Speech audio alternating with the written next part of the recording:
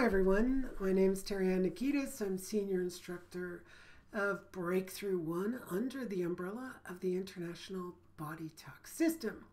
So I thought I'd talk a little bit about Breakthrough. We have a course coming up or I'm giving a course online. It'll be on Zoom the 11th of November uh, for four days, 9 a.m. Eastern to 1 p.m. Eastern. So what we do this is if you are ever triggered. So you can think about for a moment what is a trigger? And very often people say a trigger is something that sets me off. A trigger is something that ends up pushing one of my buttons and the person could explode externally, implode, and then there's this massive dynamic going on within us. So if you ever think about it just for a moment, you might notice there's victim blame consciousness. You might have heard talk in so many different systems that we we start to blame everyone else. We blame everyone for how we feel, or we blame ourselves. That's part of it too, because usually in the end, we are our own worst enemy. Because no matter what's going on in the world, it's oneself that has a reaction or an overreaction to the world. So you might react or you might overreact. When we react, something might come at us, like a, I don't know, a car's coming at you, you react, you jump out of the way. You fall down the stairs, you react, you grab something. Somebody comes in and, you know, hits you and you might react by putting putting your hand back. Or we could react through speech. And then we overreact by what we said. So what we do in Breakthrough is it's really, you know, not just a system. You know, people often say, okay, we're going to learn this technique and go off and use it. Well, the thing with Breakthrough is it's very much like Eastern mysticism but, and Eastern self investigation that is really applied for the Western mind. So we are better able to ask ourselves questions and answer them. So I've asked you a question What's a trigger? Think about it and then answer it for yourself. So if you give an example that doesn't tell you what, what a trigger is, if you state stories about when you're triggered, it doesn't state what a trigger is. So you wouldn't be answering the question. This is one difficult thing that we have um, is that we assume. So when we're asked a question, we make assumptions about the question and then we don't really read the question or listen to the question and we don't answer clearly. Okay, if you got a, a nice intellect that's working properly for you, you'll hear a question and you will answer that question based on exactly what the question is without making any assumptions. So if you think for a moment, if we start assuming, so you're in the kitchen and your partner triggers you and you assume what they mean by that trigger. You have no, you don't care how they're feeling, you don't care about their own state, or you overly care about it and you're thinking about how to control their state. It could be either way. And when you do this, you're making an assumption. You don't ask a question, and likely you don't even communicate, right? So everything in your world everything that you feel, everything that you're experiencing is your own personal experience from your perspective. And you could say, until it's not, until you see things exactly as they are. So usually we assume something, or, and, or, eh, they usually go hand in hand. We take things personally. So if you want the attention from your partner, or you need your partner to understand you for the moment, it's all about oneself right? So, oh, I need attention now. This is what I want. And then we start speaking from that that place, from that assumption, and assuming the other should do what we want them to do. Oh my, right? This is where we get into conflict. And sometimes we blame ourselves or we blame the other for our experience and how we, we feel. And we do it over and over again. It's like hitting our head against a brick wall and nothing ever changes. You know, might feel like it's changed for a period of time and then you're right back apparently at step one? Well, because you never saw the the source. You never really looked at the dynamic of what's going on in your conflict and your defensiveness, and you start blaming the other. Uh, and then we kind of spiral out of control the moment we're triggered, right? Uh, you know, sometimes we can sit there and say, I suppress my emotions, and, you know, then I find something to do. It still bothers me, but I'll find what I can do.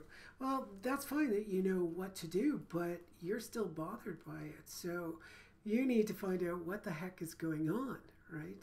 So in in breakthrough we come to a place where we're looking at what we're identified with. So we have, you know, this buildup of defenses that are these contradictory beliefs about something. And we think we've got it all organized and we're so certain we know the facts and we're so certain we know who's to blame. We've already set up this defensive court case against the other or against ourselves. We can do it towards ourselves as well. We can have it all assessed and not think properly. We've got all this contradictory evidence. We make a conclusion based on an assumption. It's, as I take a deep breath, you know, it's quite uh, terrifying how quickly we condemn ourselves or the other through this blame victim consciousness. So when we live in blame victim consciousness, you could say you're your own worst enemy because you're never going to get out of it. You're going to constantly be blaming the other or yourself, and you're constantly the victim. They go hand in hand. You can't blame without being the victim. There's there's no way. So, you know, you could spiral under out of control or you could try and suppress it all, but the trigger comes back, right? It just keeps coming back. Sometimes it could take a year. Sometimes it could take a few years. And that same old trigger comes back. And you have no idea why. So let me just place, place it on the other. It's them, it's their stuff. But it's happening to oneself so if I'm triggered, it's happening to me.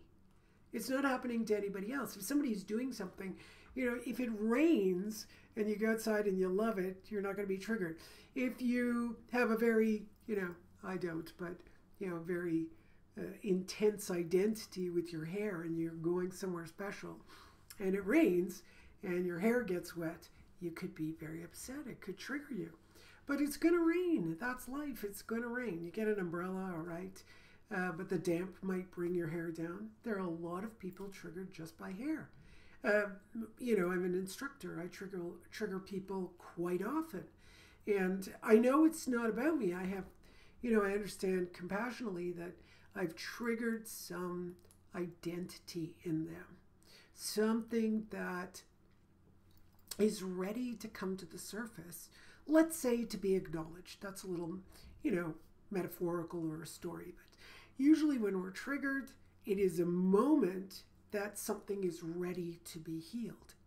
And usually we cope with it. You know, we can hide it, suppress it, or we, you know, think it's just going to go away, which often it does. You know, we don't have as an intense reaction three days later. We may, but sometimes, you know, three days go by, we calm down, the emotions have calmed down, you know, you feel a little bit better. So you kind of go, okay, that's done. It was just a moment in time.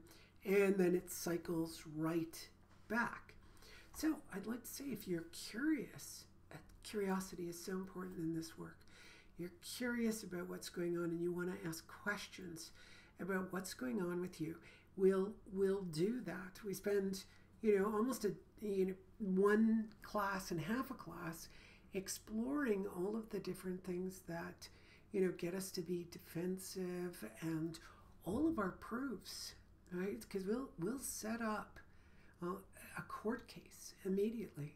We're very quick and we could be condemning ourselves or condemning the other. If we start looking at all of this just the fact of observing it and studying it begins to allow us to um, look at our reactions differently, our overreactions differently. We'll begin to. Um, I've had people come to, I used to give a lot of introductory talks, and they weren't able to take the course that weekend. Let's say I was in a different country and they couldn't take it. Um, they, they have told me, even 10 years later, that just coming to the public talk was um, revelatory you know, they were able to see things about themselves that they hadn't seen before. So we're going to do that. Uh, in the first two days, I've added a few hours to the class. It's usually three hours, but we're going to be doing four hours, which gives us time to, you know, work a little bit more in depth with our defensiveness, right? Uh, defensiveness is obviously not a protection. Protecting yourself is natural, but defensiveness becomes this, you know, driven, you know, emotionally driven victim blame consciousness, right? We keep doing it over and over again. So if you're curious at all and you want to explore this, and just remember this work, as I said at the beginning, is not just I, I go to this class and I learn this technique. This isn't the way this works. This is a journey. It is part of your uh, journey to self realization. So we call it a pathway. So once you open up this pathway, you have a lot of ways to investigate. There are a lot of different classes you can continue taking. There are a lot of teachers who give lectures and talks. And you, all of our talks are interactive. We don't just, you know, that's what makes talking on here a little bit difficult because you just have to speak for yourself. Whereas usually, you know, we talk a little bit, maybe half an hour, and then the next part is completely interactive because we need that dynamic to be able to explore. So this is real self investigation we explore as a group, and the group supports each and every one of us, including myself as an instructor. Otherwise, I think, you know, if I ever came to the end of this work, I don't know if I'd ever, you know, continue teaching it. I keep teaching because it's for me as well, right? There's a, there's something we keep learning, uh, unlearning actually. We keep unlearning all of the assumptions we have about life, and slowly we disidentify from the from our self-image. We all have some self-image that if somebody triggers that self-image, if you think you're smart and somebody triggers that self-image, you're gonna overreact. Uh, you could be passive aggressive when somebody is a little bit smarter than you. I've seen that so often that you know you'll have a table of people. One person is really smart, showing their knowledge, and then someone else comes in and is quite uh, quite intelligent and adept at speaking and questioning, and they will trigger the other person who will just shut down completely and become passive aggressive and even leave. I've seen this happen so often. Leave the dinner table or leave the the room and say, "Hey, you know that person isn't smart. They're stupid." And they weren't. They were quite intelligent. They had a lot to say, a lot of questions to pose, and yet here's my here's the defense. I've seen Many individuals do that. My defense is they are stupid. Meanwhile, they never heard what the other person said because they're so triggered. I could give you so many examples of, of triggers and the defense mechanisms. So if you'd like to join me, I think uh, I think you'll have a lot of fun. Uh, of course, it's it can be you know quite intense as well, but you know we play doing this work. We investigate like kids and we, we see exactly how we operate. And you can keep doing this for the rest of your life or until you're fully self realized and you're no longer triggered.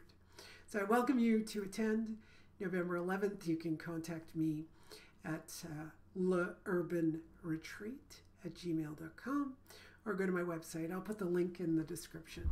Thank you and have a great day. Bye.